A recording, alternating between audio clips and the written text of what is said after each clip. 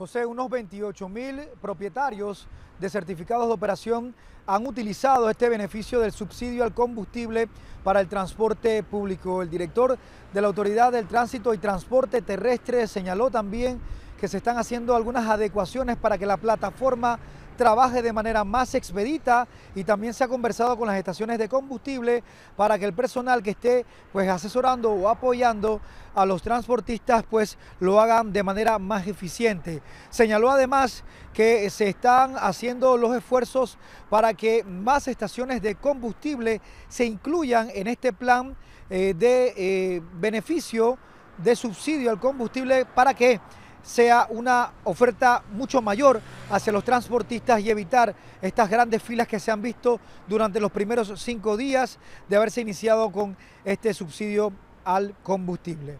Vamos con la entrevista, adelante. Los últimos tres días tenemos alrededor de 28 mil certificados de operaciones que han utilizado esta ayuda económica. En transacción económicamente hablamos más de 300 mil balboas y en operaciones estamos hablando de casi 58 mil operaciones en las estaciones de combustible. Recordemos, pues como usted dice, este es eh, un proyecto nuevo, iniciamos el día viernes con las estaciones eh, de combustible Terpel. El fin de semana se incorporó Delta y ya también está la estación de combustible Puma.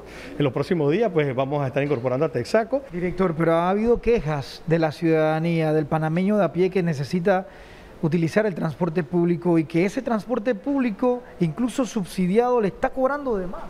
Bueno, eh, hemos reiteradamente dicho eh, que la persona que cobre de más ya es una falta que está en la ley, que se le puede cancelar el certificado de operación y en este decreto ejecutivo donde nos ordenan pues a distribuir este ayuda económica, existe un artículo que te habla, habla de que si la persona que sea denunciada eh, haciendo un cobro ilegal, inmediatamente se le retira la ayuda.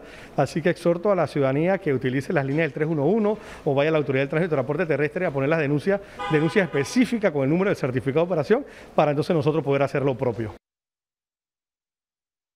Las declaraciones del director de la Autoridad del Tránsito y Transporte Terrestre, que dicho sea de paso estuvo en la Comisión de Presupuesto esta tarde sustentando unos traslados de partidas para precisamente poder pagar este subsidio al costo del combustible a los transportistas.